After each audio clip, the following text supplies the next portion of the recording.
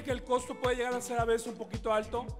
el beneficio es recuperable porque si tú no le pones mantenimiento y no le pones eh, combustible, estás hablando de que pues, en un año te puedes llegar a dar un ahorro de 24 millones y ya pagaste más de la mitad de la inversión. Pero no solo eso, el beneficio de estos vehículos en cuestión de lo que pueden llegar a ser es ilimitado. Porque si tú ahorita tienes los limitantes de la movilidad, del diésel, de la gasolina, ya no los vas a tener. Ya no hay limitantes, ya no hay justificación para que una patrulla no esté dando sus rondines, ya no hay justificación para que una pipa no llegue a dar solución de agua a un ejido, ya no hay, ya no hay eh, justificación